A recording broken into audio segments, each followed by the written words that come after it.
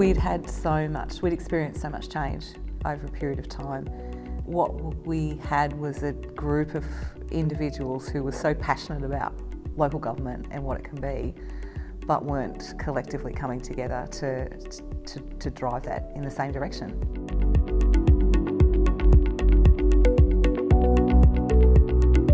Immediately I saw our leadership team looking to each other differently. There wasn't a lot of trust in our organisation. I think that was one of our key, has been one of our key issues, is, is a lack of trust. Being able to have some conversations with people that you don't normally have conversations with and be vulnerable in that and be honest and, and authentic in, in what the challenges are or what's working and what's not working.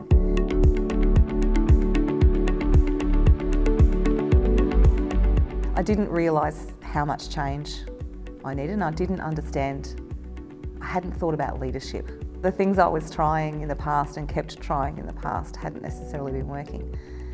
Um, considering leadership in a whole different way changed that. It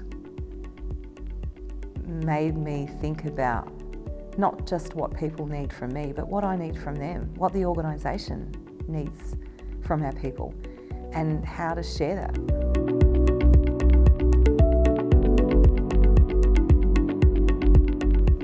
I truly believe in 12 months' time, we will be almost unrecognisable. It changes the way that people look at their organisation, the way that people look at leadership, the way that people look at team. It changes confidence in people who may not have been confident. I see people knowing what to do instead of just knowing what the problem is. It makes sense. And because of that, it doesn't feel like additional work because you can see how it's saving you time.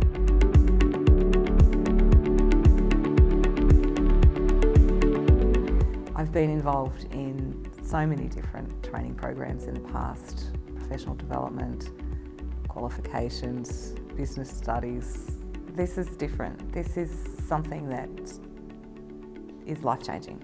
It's changed mine and I think it's changed our organisation's life, or it certainly will if it hasn't yet. In day one, I was invested and wanted to take every second of the opportunity to not be doing the hundred other things you could be doing and thinking about.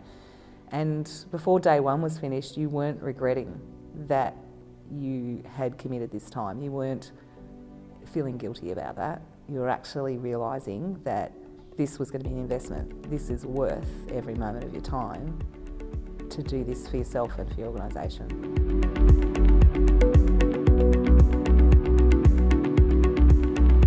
I'm excited about our organisation, a, a, group of leaders in our organisation and the whole organisation having a shared language to be able to talk about what we're going to be, what we want to do. This is a group of people who are really passionate about what they do, who believe in local government as a way to really make a difference. And I'm so excited to watch people draw all of this together, saying, I get it. I get what needs to be done. Not only now do I know that change needs to happen, now I know how to do it. I know I can't wait to get involved and to, to start to, to do more. It's, uh, I'm really excited that our organisation has had this opportunity to be able to learn this as a leadership group, to share it with the rest of the people who are so invested in what we do. And I can't wait to see who we are in 12 months' time because I really do believe we will be a different organisation.